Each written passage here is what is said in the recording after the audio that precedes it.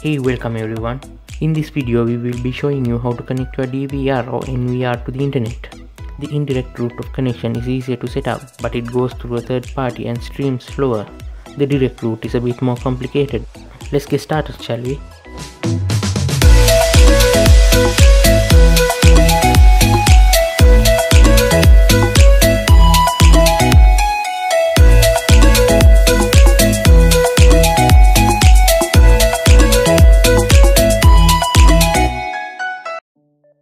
We need to secure the DVR or NVR with a password.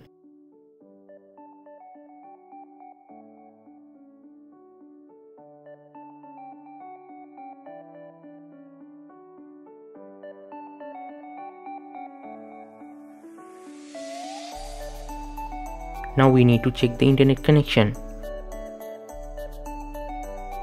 If the status is offline, press the auto configuration button for it to establish connection. Once the status is online, the device is ready. We need to download the compatible app for the device.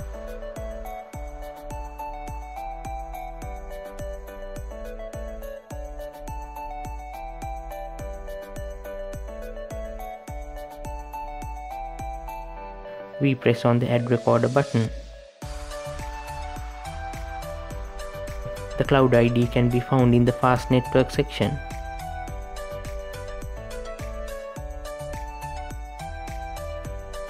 The password is the same as we said before.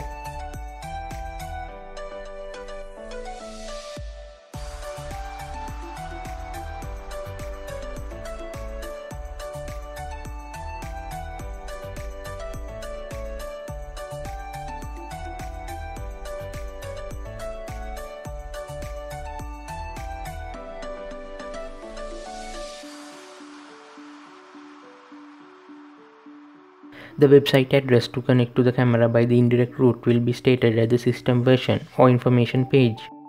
Once we enter the cloud ID and the password just like in the mobile app and after clicking on login we can connect to the device through the third party. The third party may require you to download and install one of their controls. Only perform this action if it is the manufacturer of the device or a trusted source.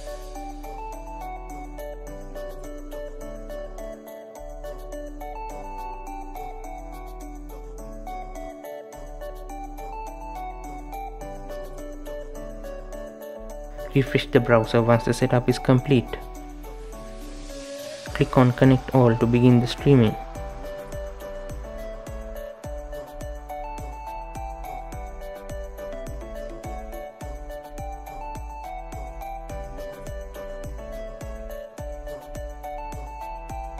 For the direct route, first we need to fix the local IP address of the device.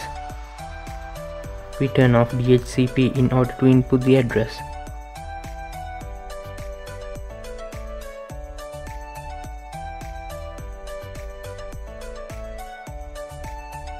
We also need to change the web port from the default 80 to any preferred port number.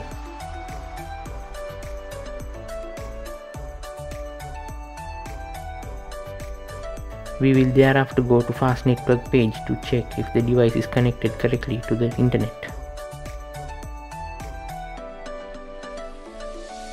Afterwards, you need to contact your ISP with regard to two settings. Does my internet connection have a static or dynamic IP address? If it is a static, then you do not need a DDNS account. If it is dynamic, then you need to create a new DDNS account. Second question, does my internet connection have a private or public IP address? If it is a private IP address, then you should make a request from your ISP to change it from private to public. After that's done, we need to create a new DDNS account. NoIP is a well-known provider so we will use that.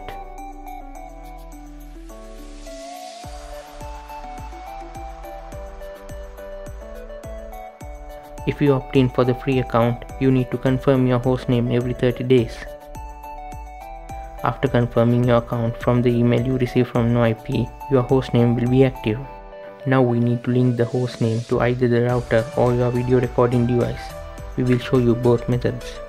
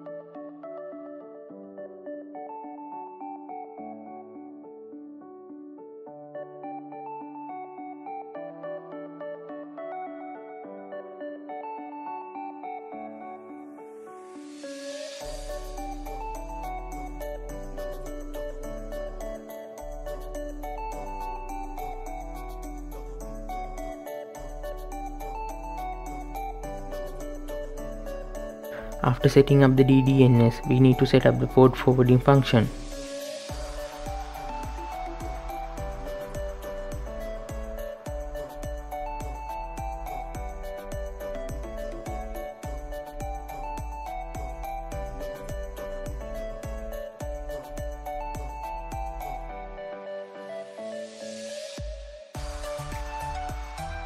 The port can be checked by using an online port checker.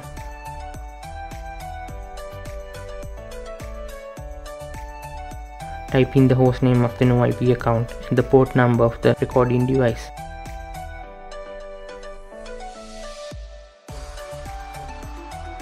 If it says the port is open, that means the necessary settings are complete.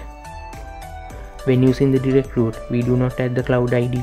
Instead, we click on IP or domain name and enter the host name, thereafter the port number and the password of the device.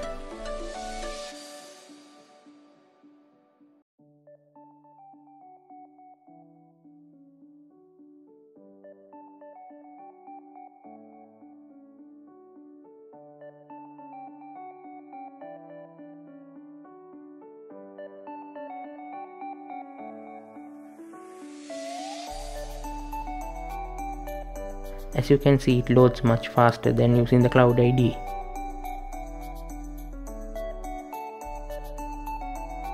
When connecting through a PC, you need to type in the host name, a colon, and then the port number in the address bar of the browser.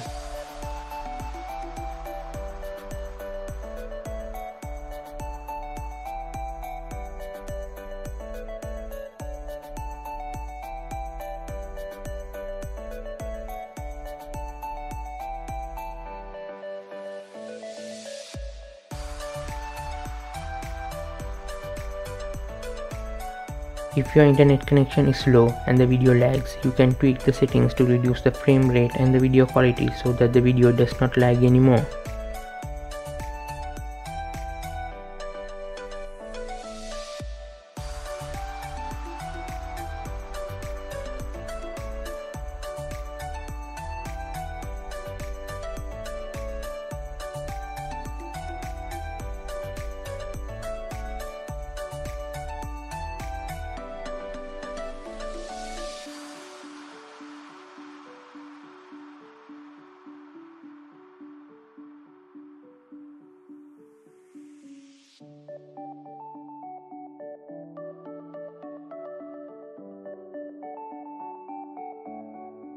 You could also play back or backup videos remotely. Remote backup will not work properly if your internet connection does not have the necessary speeds.